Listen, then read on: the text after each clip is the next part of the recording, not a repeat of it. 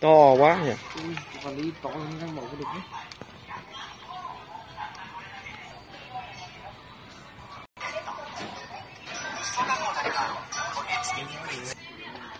to cái năm buổi năm mươi được